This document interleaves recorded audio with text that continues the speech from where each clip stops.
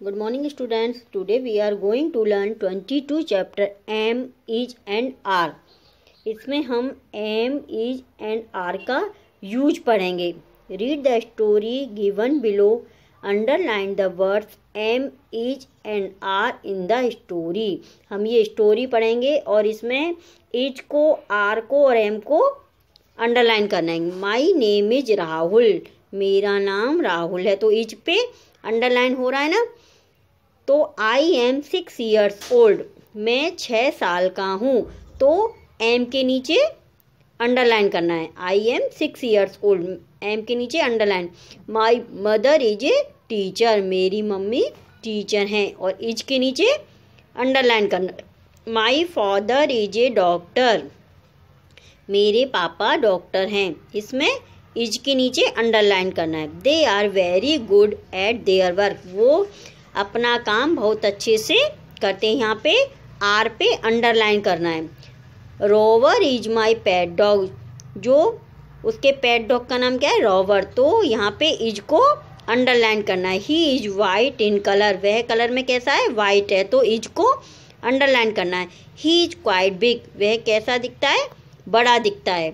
On Sunday we are all at time हम Sunday को सारा दिन एक साथ रहते हैं। यहाँ पे आर को अंडरलाइन करना है। I like it when we are all together यहाँ पे भी हमको आर को अंडरलाइन करना है।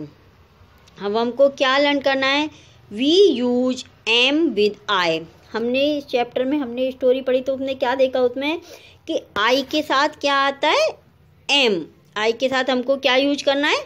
Am we use is he she it and naming word that stand for one he के साथ सी के साथ इट और किसी भी नेम के साथ हमको क्या लगाना है? इज़ या जो सिंगुलर होता है, उसके साथ हमको इज़ लगाना है। सिंगुलर के साथ हमको इज़ लगाना है। और we use are with you we you they and naming word that stand for many many means plural one means singular तो प्लूरल के साथ हमको क्या यूज़ करना है? आर। तो हमने क्या इस चैप्टर में सीखा? आई के साथ हम एम लगाएँगे और जो सिंगुलर है, ही, सी, इट, किसी का नेम होगा उसके संग हम इज़ यूज़ करेंगे और वी, यू, दे और प्लूरल होगा उनके संग हम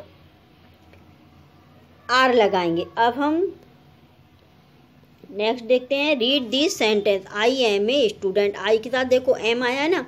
ही इज़ ए ड्राइवर, ही के साथ इज़ यूज़ किया है। दे आर पुलिसमैन तो वो दे, मैन ही है। तो वो प्लूरल है तो प्लूरल के साथ आर आएगा। यहाँ पे हम एक्सरसाइज देखते हैं राइट एम इज़ और are in the blanks it के साथ क्या आएगा? इज़ इट क्योंकि इट सिंगुलर है। द फ्रूट्स तो फ्रूट्स क्या हो गया? बहुत सारे फ्रूट्स हो गए ना तो वो प्लूरल हो गया। तो प्लूरल के साथ क्या आएगा? आर ही के साथ और शी के साथ बताया था ना, इज़ तो he is a doctor, she is a dancer, he और शी के साथ इज़। यू के साथ क्या आता है? आर, वी के साथ, आर, दे के साथ, आर तो यहाँ पे you are very tall, we are soldiers यहाँ पे the ball set to red hiding hood, I I के साथ एम। तो यहाँ पे भी, एट्थ में भी, I am, fond of chocolates. The story story क्या है? सिंगुलर है, द स्टोरी इज़ ओवर। तो ये स्टोरी फिनिश हुई तो यहाँ पे स्टोरी भी सिंगुलर है। मतलब हमने इस चैप्टर में क्या सीखा कि जो सिंगुलर होता है, उसके संग हमको इजी लगाना है और जो प्लूरल है, उसके साथ आर और आई के साथ हमेशा हमको एम यूज़ करना है। Okay thank you students